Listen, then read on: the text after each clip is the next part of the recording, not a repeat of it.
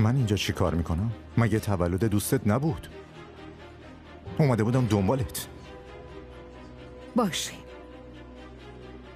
ببخشید خلیل من معذرت می‌خوام. ام، یادم رفت بهت خبر بدم. شاید چون همه چی یهو اتفاق افتاد. قرار بود امروز کرم با الکس جلسه داشته باشه. حتما الکس رو می‌شناسی همونی که مالکیت هتلای لوتوس رو داره. قرار بود که جلسه من با اونا فردا باشه ولی الکس یهو تصمیم گرفت که جلسه رو برگزار کنه بعدش بره مسافرت. کرم با هم تماس گرفت موضوع رو به هم گفت. منم گفتم کار مهمتره اومدم اینجا. یهو. خوش اومدی خلیل. چه سورپرایز قشنگی.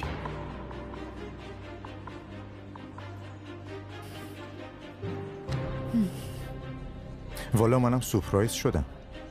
کاش خبر می‌دادی. قرار بود این پروژه بخشی از شرکتمون باشه نه؟ آره گفتم که فراموش کردم بهت خبر بدم. من نمی‌دونستم که بهت نگفتم.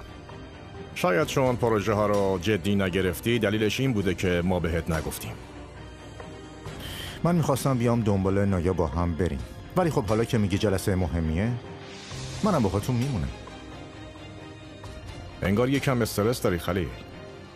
اگه برنامه دیگه ای داری بهش برس. من و نایا میریم جلسه مشکلی نیست. من وقتم آزاده. درسته نایا؟ کاری ندارم. اینجا منتظرت میمونم. باشه.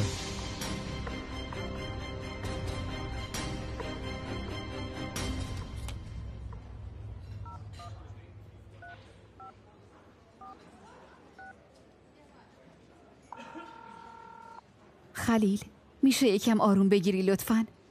میرم گوشیمو برات بیارم که ببینی دخترها هی بهم پیام میدن. ببین من اصلا داشتم می‌رفتم. کافیه بشین. آرومم. باشه؟ خوبم. با حوصله منتظر جلسه میمونم. خوبه؟ من با تو مشکلی ندارم. مشکلی نداری؟ خلیل چرا این بچه ها رفتار می‌کنی؟ چته ها؟ باشه. من اشتباه کردم که بهت نگفتم. یادم رفت. خب چیکار کنم که یادم رفت؟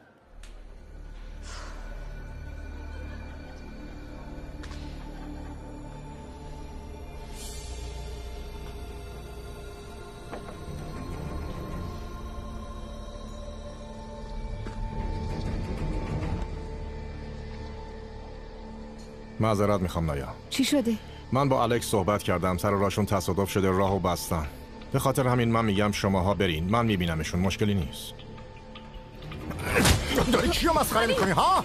کیو مسخره می‌کنی؟ فکر من خودم. میگم باهاشون جلسه دارم. دیگه بهم نگو جلسه دارم.